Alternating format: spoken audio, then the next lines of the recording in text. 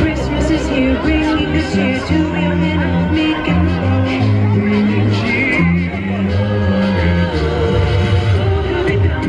All oh, you need is a tree, some lights, about a thousand presents wrapped up in paper. So